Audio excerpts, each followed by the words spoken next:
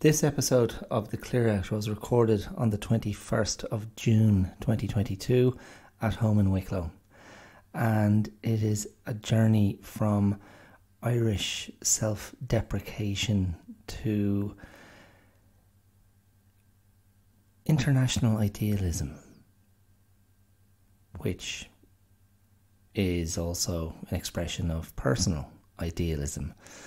And on that journey, I also reassert the mission statement of the podcast and remind myself of the aspiration I had and continue to have for the podcast. And it is tethered to a certain idealistic conviction. So, yes. Now, the international idealism to which I refer is based on a quote from a former um, a former Egyptian prime vice president, sorry, a former Egyptian vice president and Nobel laureate. And I came across something he said earlier this week, and that's what got the cogs turning around this idea of idealism. And I offer that to be an idealist is to be perpetually disappointed. so it's yeah ironically being an idealist is a way of being very realistic about how the world is um, but hoping always hoping for something better um, and speaking of which what did one idealist say to the other idealist this is far from ideal to which the other idealist replied, You could have put that better. Boom, boom. I'm here for eternity. okay, so um, so yeah, that's what's coming up. A bit of doomed idealism. Um, I hope you enjoy what you hear. I'll see you there around the corner. Cheers.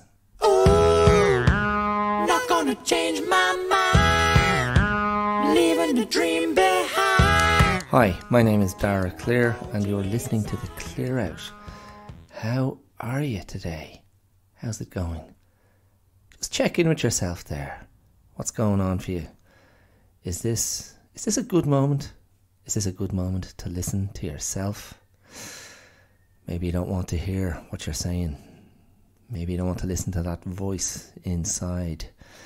Maybe it's all just a bit too much, and you need to go and immerse yourself in something on the outside to escape, to escape the voice of indictment, of recrimination, the voice of judgment within. Or maybe it's all good. Maybe, maybe you are enjoying high approval ratings at the moment. Maybe you are enormously impressed with yourself. That's um, that's a position that, that uh, Irish people aren't that comfortable with. we have a, a a national a national predilection for self-deprecation. We we like to take the piss out of ourselves and mockingly throw shade at ourselves the last thing we want to be accused of is being pleased with ourselves. if that's not if that's not uh, a symptom of a profoundly damaged national psyche, I don't know what is. Um, it's okay. It's okay to like yourself. How about that for a message? A very gentle, a very gentle message. Maybe that should be a mental health awareness campaign splashed on billboards and on the sides of buses uh, all across the country. It's okay to like yourself. That wouldn't uh, that wouldn't be that costly, would it? It's okay to like yourself. Five words. Mental health awareness, Ireland. It's okay to enjoy yourself. It's okay to approve of yourself. It's okay to love yourself, to value yourself. It's okay to cherish yourself.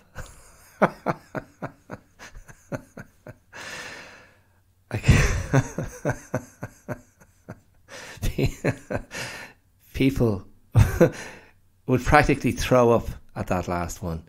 Are you kidding me? What the hell are you talking about? How dare you? How dare you suggest? We open up that can of worms. We lift the lid on Pandora's box and dare to value ourselves so highly. Only bad things can come from that. Only bad things. Um, yeah. And listen, I'm, I mean, I'm, I'm laughing here, but there's a, I believe there's truth in what I'm saying.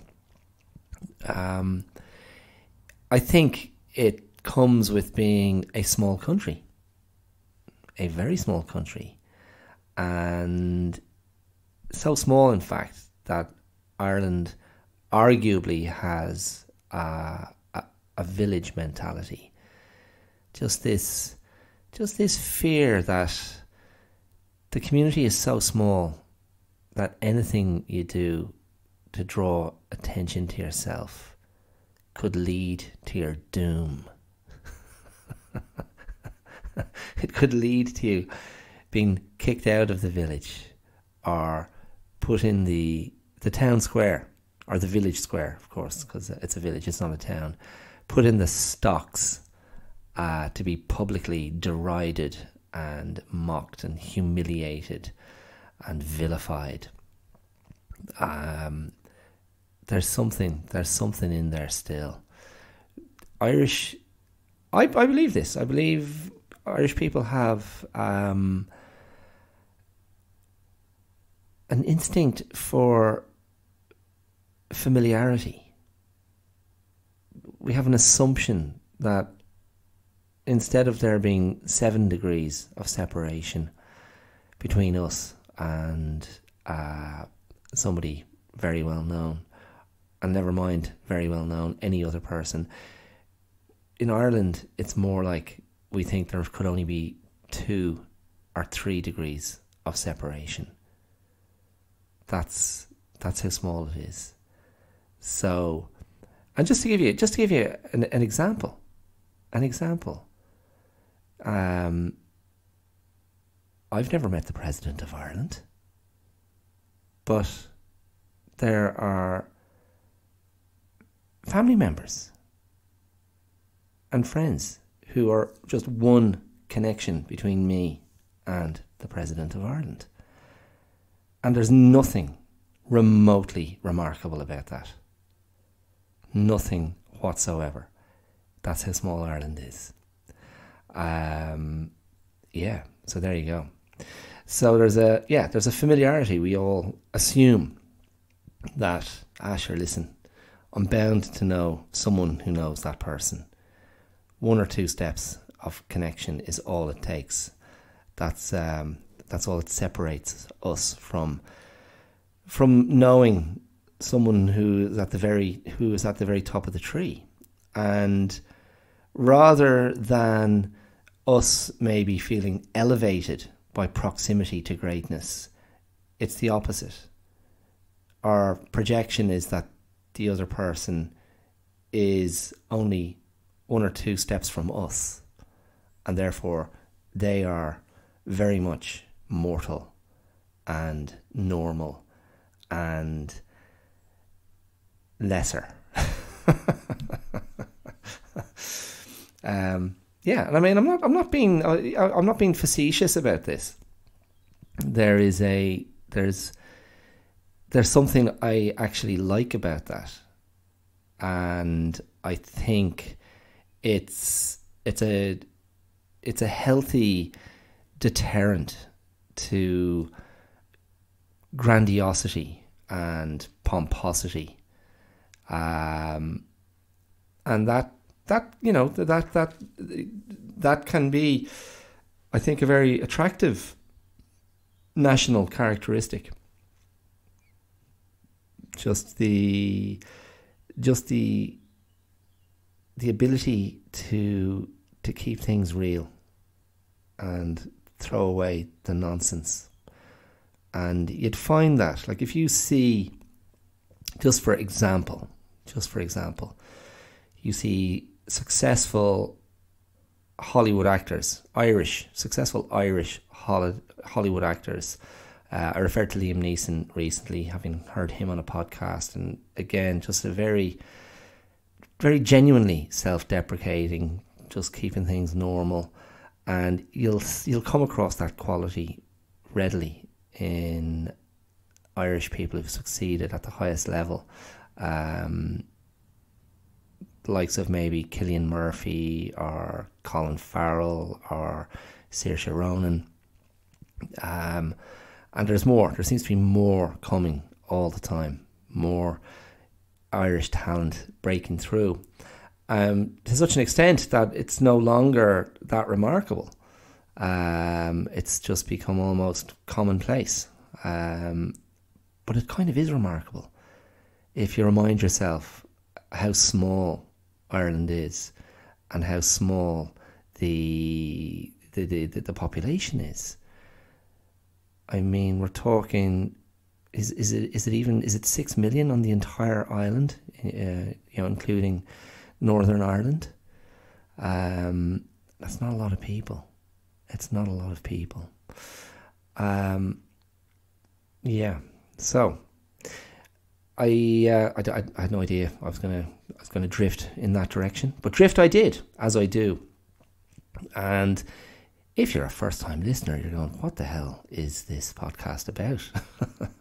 and I did I did declare some episodes ago that I I try and make a point of of announcing the sort of mission statement of the podcast every episode, and I simply haven't done that. But um, just to just to reiterate, the Clear Out podcast is very simply an hour or so each week dedicated to explorations of wellness, mostly personal, individual wellness looking at the internal landscape of emotional and psychological well being, uh, looking at healthy habits, healthful habits, but as well as that, looking at all aspects of how we live, all aspects of what we might encounter in the world, and how those things impact us for better or worse. And so frequently the topics branch out into the social and the political and the philosophical. Uh, and very often there are references to movies and references to martial arts because I have a lot of that in my background. Uh, I'm also, I'm also, or I, I am, I hesitate. I have also been an actor myself and still, mm, mm, I still, uh, I still nurture little notions that uh, I'll put my put my toe back in the acting pool and and see if I can jump on the back of a shark to get me to the other side of something resembling gainful employment in that in that field. Um, and I've written about emotional and psychological well-being on my blog, my website, theclearout.com. That's all going to migrate soon, very soon. I'm, I'm going to have a, a one stop shop for uh, the podcast and pieces that I've written, including occasional bits of poetry and short stories, uh, along with the um, hundred or so think pieces in the area of, of well being. Often, often um, often attached to a sort of a, a confessional um, storytelling kernel from from my own life. Uh, that is typically my starting point. I'm not unique in this regard. Um, that's that's that's how we operate, isn't it? Do you, I mean where where do you get your ideas? Where do you get your opinions? Do you wait do you wait for somebody else to tell you what to think? Is that um, is that a good road to go down? Um, I think not. I worry. I worry about the person who can't engage with their own thoughts. I mean, barring barring severe mental illness, um, brain function compromise, that kind of thing. But otherwise, if you're you know if you're operating on a fairly even keel, I expect you to think. Don't let me down. Don't let me down. Engage. Engage with that part of your brain the thinking brain. I think the, um, the, the brain is understood by professionals in the field of neuroscience and behavioral science, uh, neurobiology. The brain is understand, understood as a, a three part structure the thinking brain, the emotional brain, and the primitive brain. And that's the that's the, the vertical the vertical alignment of of the brain. Thinking on top, emotional in the middle, and primitive at the base. And then there's also a a right and left brain alignment, the right and left hemispheres, uh, and so that's um, you know, and each part of the brain has its own its own um, purpose, its own function, its own little operating system what it's responsible for, that department. And when different parts of the brain are impacted adversely, that of course impacts how we function and how we perceive the world in which we find ourselves. And let me just emphasize that the world in which we find ourselves is also the internal space, what we deal with in our own res- reflective sphere, that internal landscape, which I've referred to many times before. Um, that's in the mix, and I'm always interested in that. I'm always interested in what's happening internally. What are you dealing with? What are you coping with? What are you suppressing? What lights are you turning on? What lights do you prefer to remain off? How how is that wellness being managed by you? Anyway, look, that's um, as ever. I, uh, I, I didn't manage to keep that description of the podcast to a, a cogent piece. It um, it drifted. That's that's the form I'm in at the moment. This is I'm still I'm still dealing with post COVID brain and post COVID respiratory system, um, and if if you haven't heard my voice, you wouldn't know, but this is an impacted voice at the moment.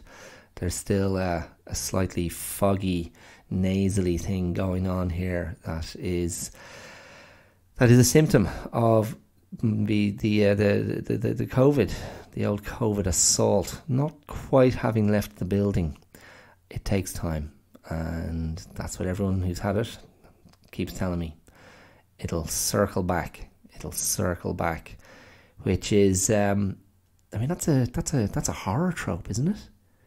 That's a, a bad guy trope in the movies or a monster trope. You think you've dealt with the threat, you draw that that sigh of relief. Do you draw a sigh? Express a sigh? You're relieved. You think the danger has passed we, the audience watching, think the danger has passed. But do we really? Do we really? Watching, we are used to it now. We're programmed to go, no, hold on, hold on. They're not really dead. They're not, they haven't really gone away. And then the the threat, the danger, the sinister presence circles back and pounces again. Gotcha. So um, coming soon to a, a, a horror show near you COVID, The Return. COVID, it never dies. So yeah, that's uh, I've still got a bit of that going on, which is um, it is frustrating. I think that maybe maybe that's um, I've, I've heard friends talk about the the mental component, the mental component to COVID, and maybe that is part of what they were talking about. The just the um, the sense, the knowledge, the conviction that okay, this is just going to linger, linger and linger, and not quite let go and so you're never quite out of the woods. There's always a sense of compromise. There's always a sense of being a little bit under full power. And I'll go out and say it. I'll say it right now. I personally struggle badly with that because a lot of the time, most of the time, I am fit and well. And a, l- huge amount of my sense of wellness is attached to being physically in a good place. And I use exercise, I use exercise and sport and my own little physical health regimes to keep me on track and to keep my mental health in a good space. And when that is compromised, it definitely affects me adversely and leaves me vulnerable to uh, to anxiety and to depression and to anger. Um, I, I, I, sometimes feel like I, I, talk about anger a lot on, on, on the podcast. Um, well, maybe that's just been an aspect of the last couple of years. Uh, a, a, friend was asking me the other day, a friend, an acquaintance, a parent of a kid at school. There was a, a school event, and while something very important and precious was happening with the children, he just leaned into me and started chatting away about things um, in the way parents can do at these events. And he was asking me, uh, "So why, why, why the podcast?" And I said, Oh, well, you know, I'm an egomaniac. And I just thought this is a great way to, uh, to have an audience, even if it's only an imagined audience. And it's a great way to spend time with myself. Uh, I didn't say any of that. I said uh, I started the podcast because a friend had encouraged me to do so. Um, and I'd been writing about the same stuff I talk about on the podcast for several years before I launched it, and um, that was kind of what I said, and I, and I only realized afterwards I'd, I'd forgotten one of the reasons I wanted to start the podcast. When I did was it, it was very much in the context of the the pandemic and the the the larger um, negative sort of psychological effects that I perceived the pandemic to be having on everyone, like internationally, just the the squeeze that was being put on people and the the, the panic and the fear and the anxiety um, and all the other impacts the the, the, the, the, the loss of work, the loss of income, um, the terrible, terrible personal cost of people who lost love, lost loved ones because of coronavirus, or were deprived um, a fitting farewell to loved ones because of the pandemic. People whose social lives were completely shut down, who lost the face to face interaction with people that they cared about, um, and people who found themselves completely isolated. Uh, all of these things, I just felt I was looking at a a landscape where where people were basically being debilitated socially and psychologically and emotionally over an extended period of time and being deprived of their normal avenues of consolation. They're normal avenues of comfort. They're normal avenues of bonding and solidarity and shared connection. And really, when I started the podcast, and this might be this is this is now I'm getting I'm getting hoisted by my own petard. Um, because I'm you know I'm gonna I'm gonna make a claim, and I'm I'm hesitating because this is this is the instinct to go. I don't want to I don't want to to to, to stand up and and you know be proud. Uh, I don't want to be grandiose, but basically I felt I want to put something out there that's positive, and I want to contribute something that is positive and that will potentially make people feel better. And that that is that is that's that that remains that remains um, that remains to be true. And I stand by that that um, aspiration. And I think if you, and I don't know why you would, um, you'd have to be a very, very big fan. You'd have to be a top friend of the tell. You, if you chose to go back and listen to the 55, 56, 57 episodes of the podcast that I've done, I think.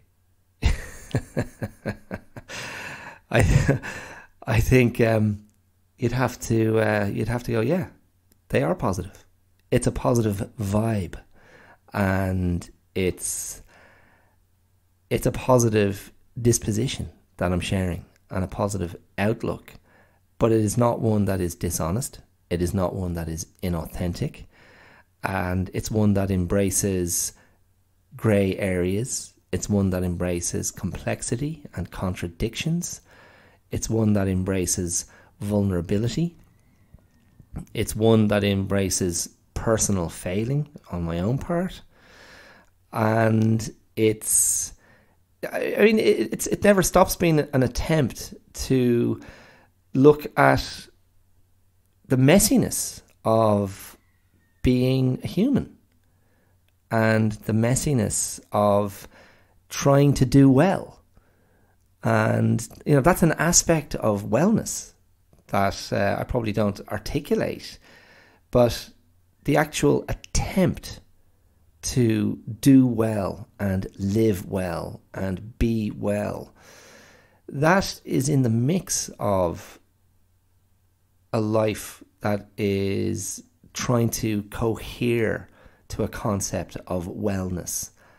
And so, you know, doing well and being well and trying to live well that extends beyond oneself. It extends beyond trying to have a, a perfect physique. It it extends beyond trying to be consistently on message. Um, you know, in, in that way, I'm so critical of the sort of the, the, the hyper positivity, um, that hyper positivity, which I've seen now more than once described as toxic positivity.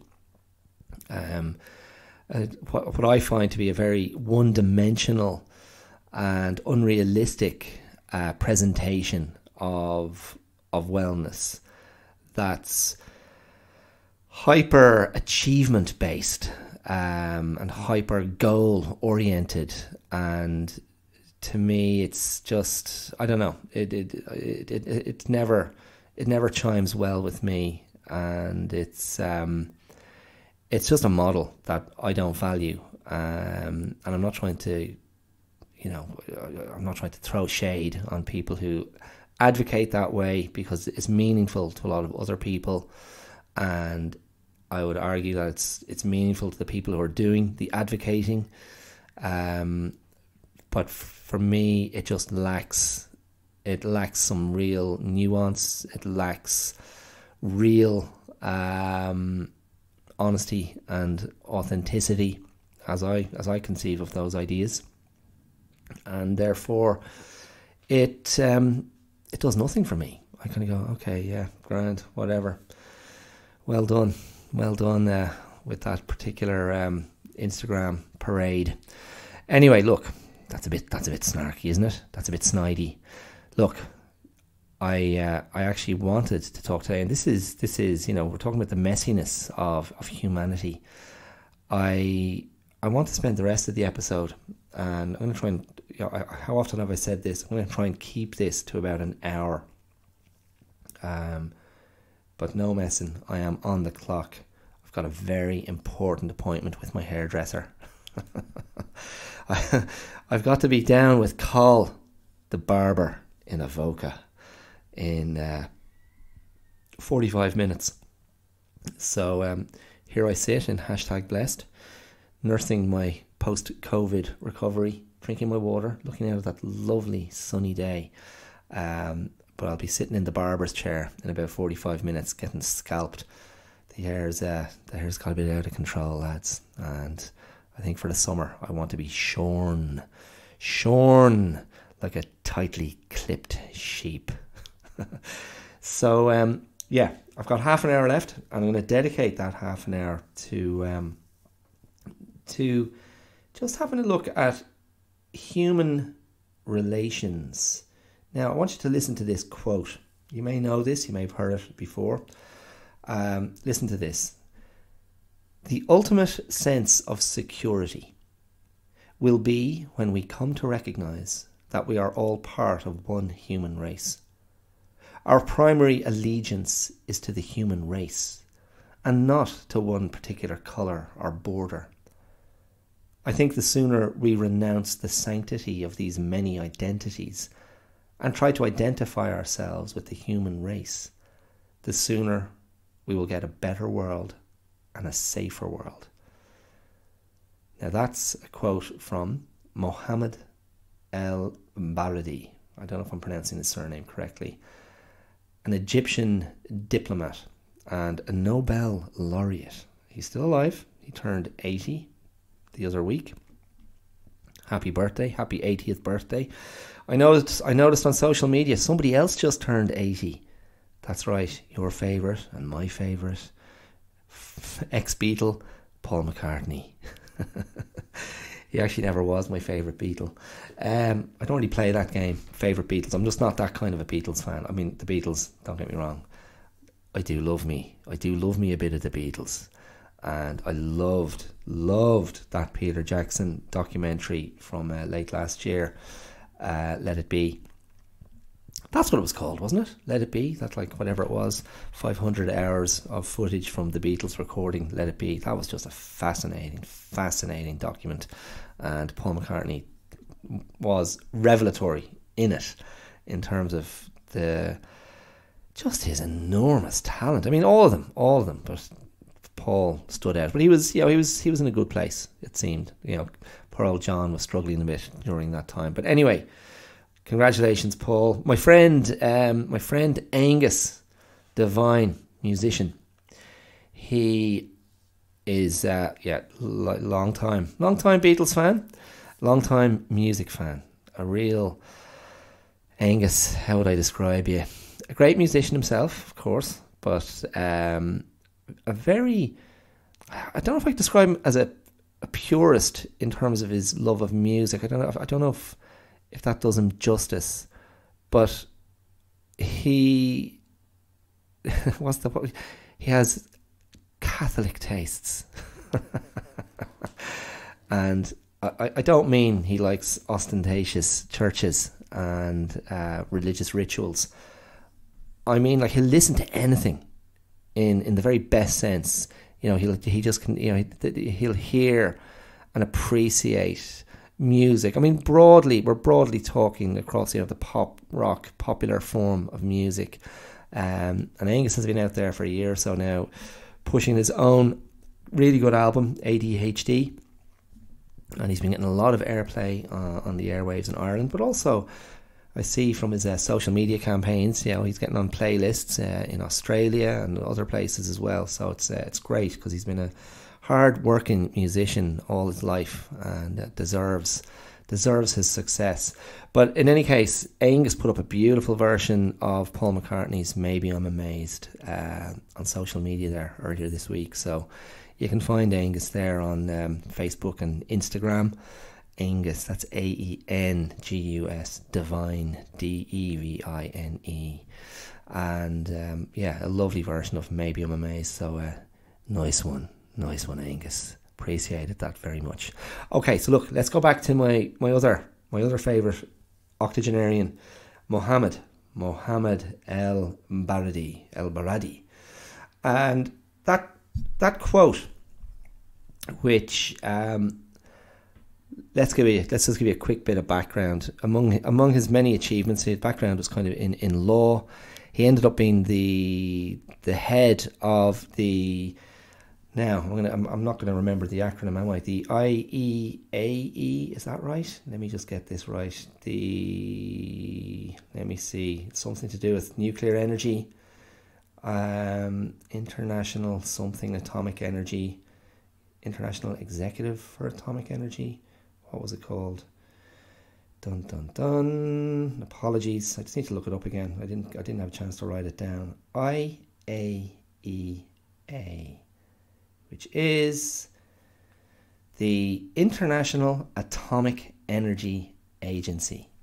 So, uh, an autonomous body, an international organization that basically is there to police appropriate use of nuclear energy um, if that's not a, if that's not an oversimplification, established in 1957, and Mohammed El Baradei served as the head of this organisation for three terms, so from 1997 to 2009, and if you quickly throw your head back into the history books, you'll realise that that coincided with the 9 11 attacks on the Twin Towers in New York and the subsequent um, what uh, the subsequent invasion of Iraq by the US and British forces under false pretenses.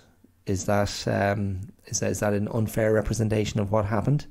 Um, and El Baradei was he was one of the inspectors with um, Hans Blix, if you remember that name, he was one of the inspectors that went in to examine uh, Saddam Hussein's nuclear capabilities, and he he believed that they they weren't what the Americans claimed they were, and um, he made himself very unpopular with the U.S. because of that, and they tried to block him subsequently from being re-elected uh, as the head of the of that organisation.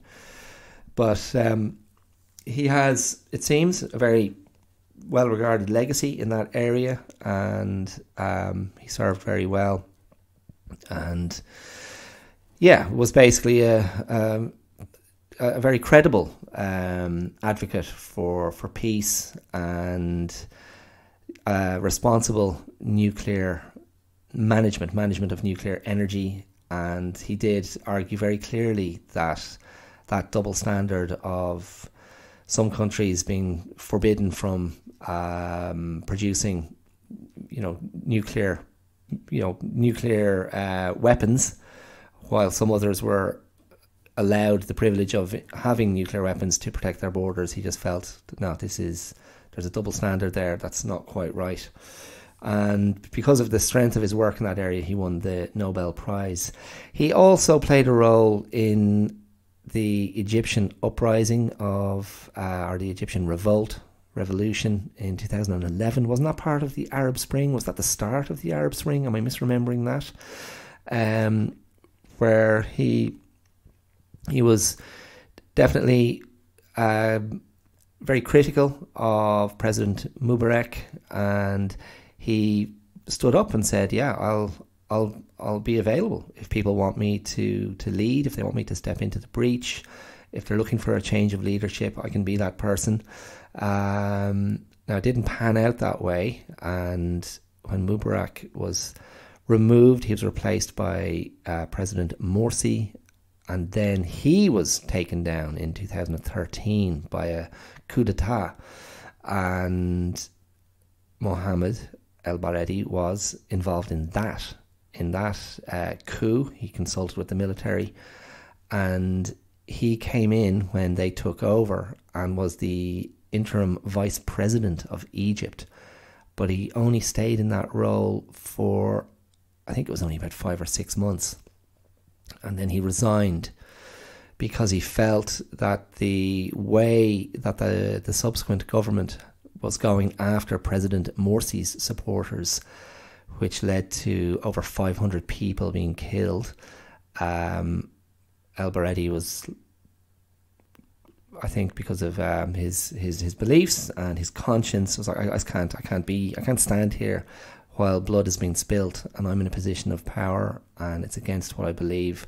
And he stood down. Uh, I think subsequently, uh, an Egyptian law professor tried to sue him for abandoning his post and abandoning the Egyptian people, but that was uh, that was dismissed in court.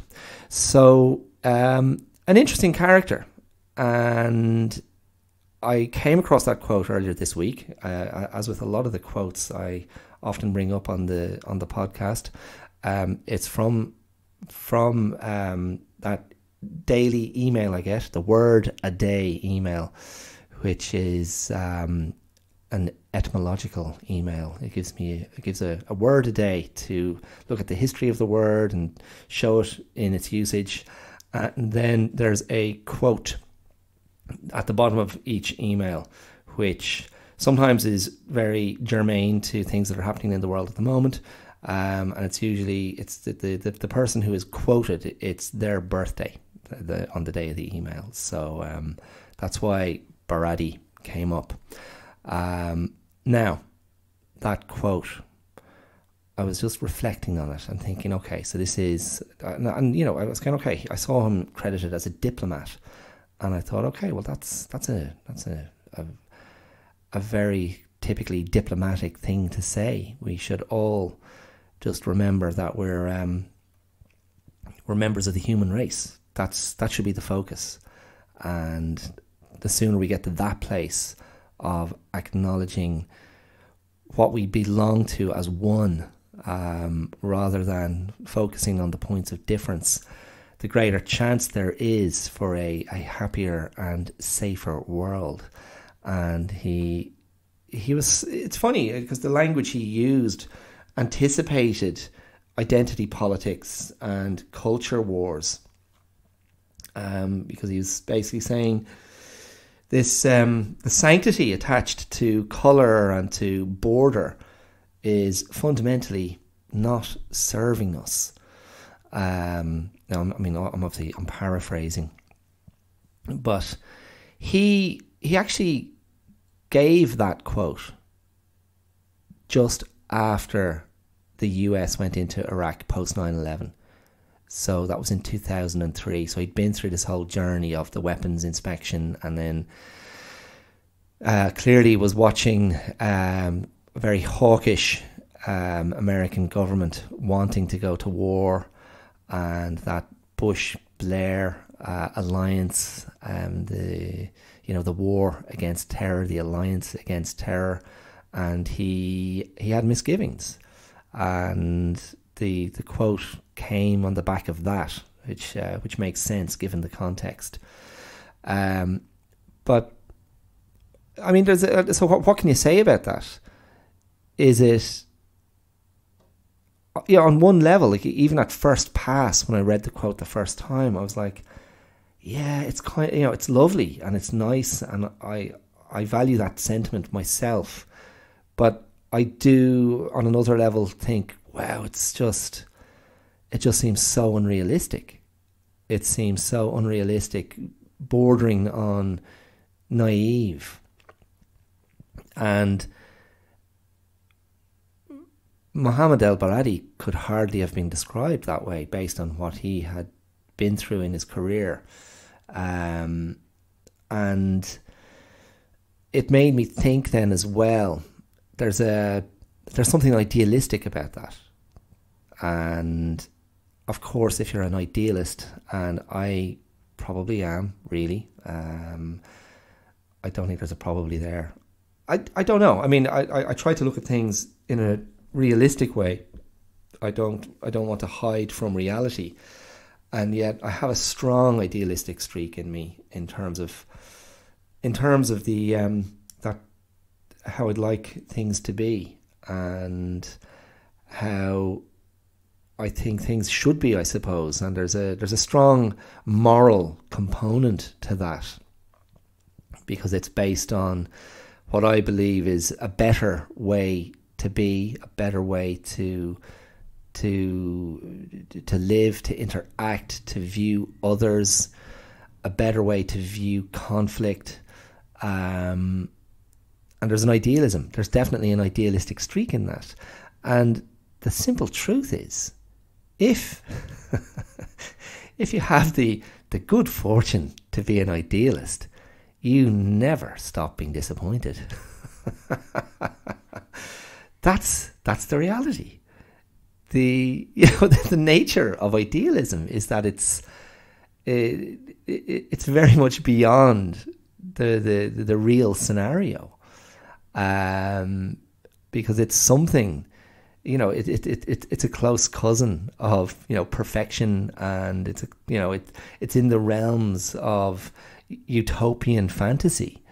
Um, and so what is it then about idealism that is appealing? Because it's, you, you know, you're, you're destined to fail. you're, you're destined not to have your vision realized. Um, and I think for me, the what I find about having an idealistic bent and an idealistic uh, an idealistic hinge to my ethics is that it's uplifting and elevating.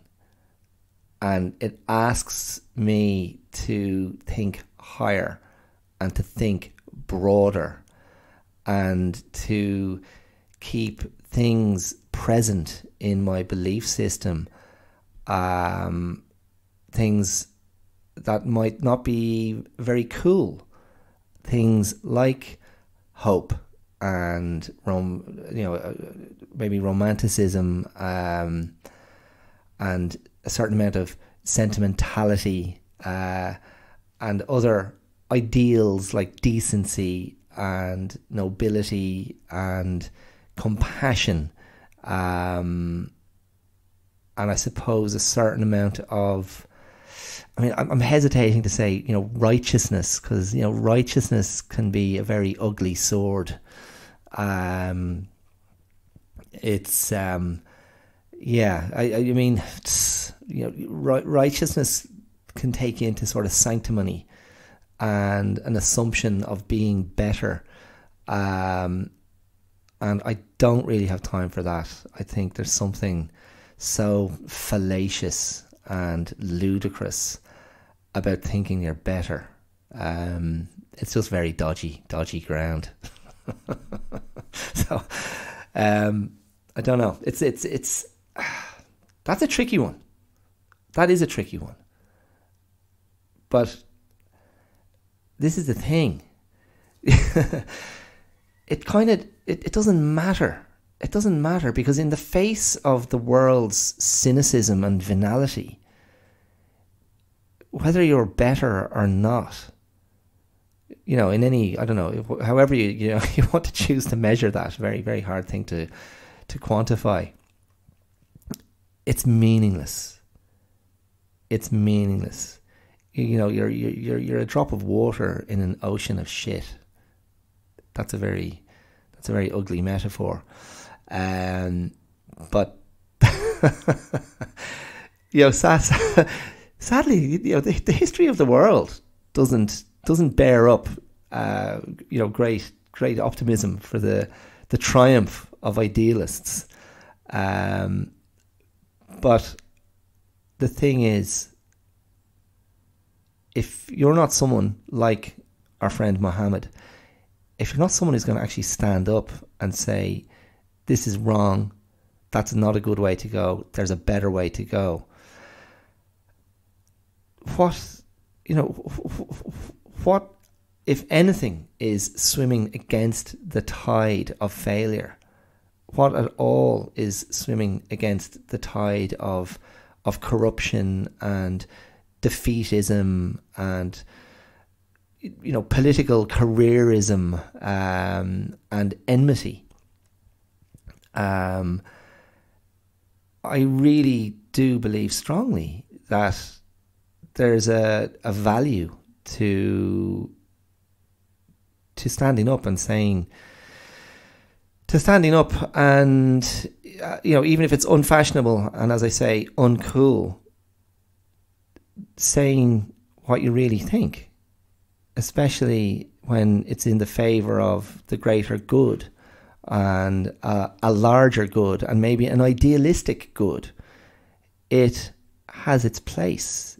And you just don't know. You just don't know. You never know where that's going to land.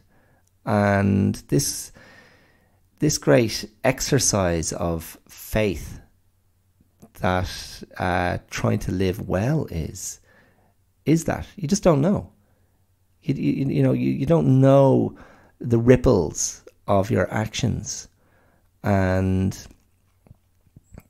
I, I mean, it, you know, it, I started to kind of veer into karmic territory, um, but I believe very strongly that if you're trying to live a good life, that there's a far greater chance of positive knock-on effects all around you, even if you're not out there proselytizing even if you're not out there actively trying to be a good Samaritan or dedicating your career to service uh, of others in some way. It, it doesn't. It doesn't. I, I don't think it has to be as literal as that at all.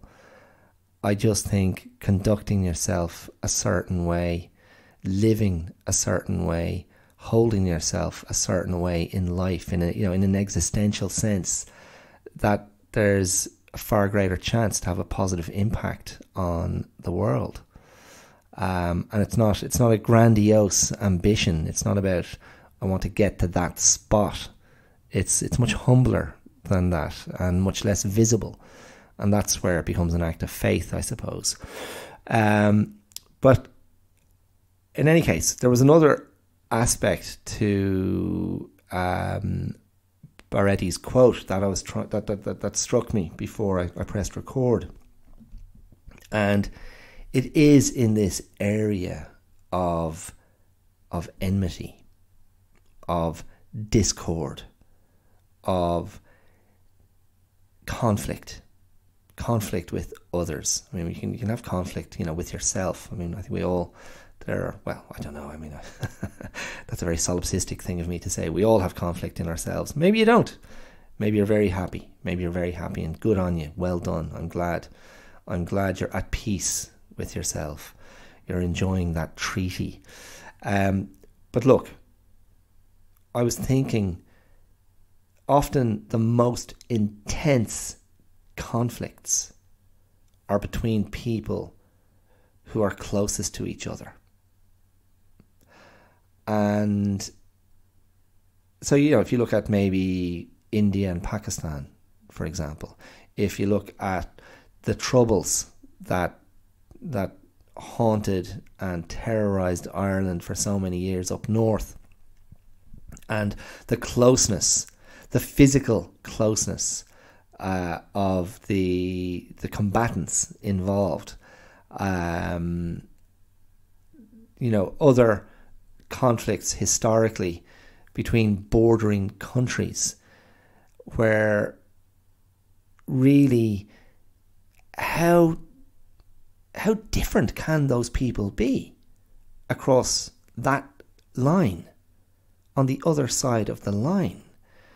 And it got me thinking about like you know I can you know I I, I was thinking about towns and villages where I live um, that are mere miles apart, a few kilometres away from each other. and there is historic and embedded enmity between villages. um, you know, it reminded me of that um, that later Asterix comic book. The uh, was it the Great Divide? Is that what it's called? Asterix and the Great Divide, and yeah, it was a. Uh, was it one one village that was split in two, and the the neighbors were all at each other's throats all the time. The, the, the neighbouring villagers who lived right on top of each other. Um, and in the end, uh, I, I, think Asterix, Asterix's solution was to dig a moat between the two villages. And they could cross over when they wanted to be friendly, but otherwise they'd be separated. And I think one of the, the gags in the book was that there was one house that sat directly above the moat. So one side of the house was in one village and the other side of the house was in the other village because it was like a, a Romeo and Juliet situation. Um, so they could each live in their, their preferred village but under one roof. Um, and I don't know, maybe that's maybe that's the maybe that's the, the metaphor that Mohammed Al Baradei was going for. That you know the world, you know, we, we, we should embrace this idea of of multiple villages under under one roof and try to live harmoniously. I mean, it's. I mean, even as I say that, it sounds a bit naff. Um, it's. I don't know. I mean, what like it like it begs the question. It begs the question. What would, what would actually lead that type of change, like a universal will to live harmoniously. If you look at you know the science fiction movies, they'll depict a, an alien threat, something otherworldly that threatens the entire species of planet Earth, and so humans unite. Um, you think of movies like uh, Denis Villeneuve's Arrival, uh, well worth a watch. You think of um, you think of Independence Day from 1996, the sort of blockbuster entertainment.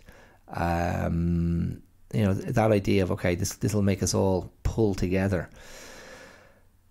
I mean, you could argue that coronavirus was the threat that that that posed um, that posed that kind of mortal end to the human race. Uh, but I don't feel internationally the world's any closer. Um, but yeah, listen, I, I, I, I was going to say though, I was going to say about this idea of enmity. Um, I wonder if, when you're talking about combatants that essentially live side by side, is there a sense of looking in the mirror? Is there a sense of being offended by the people who are so similar to you? And is there a sense of being offended that, in a way, that they're, they're, they're so similar and yet the point of difference, the one or two points of difference, have them believe that they're better than you. And that's the source of your rage. Like, how dare you? How dare you think you're better than us just because you drink that kind of tea and not this kind of tea? How dare you think you're better than us just because you like that football team and we like this football team? Um, because sometimes it feels as as superficial as that. But if you bring it down, if you, if we if we bring the scale right down to a relationship, a romantic relationship, your partner, your spouse, boyfriend, girlfriend, whatever, and you think at times of conflict, you're staring at each other across a divide, and each of you feels affronted, each of you may feel yeah, each of you may feel like you're the wronged party. Each of you may feel like you're the the better person. Um, and there's there's huge hurt and huge judgment, and yet there's there is there's something bonding there as well. There you know there has to have been because otherwise why would you have been together in the first place?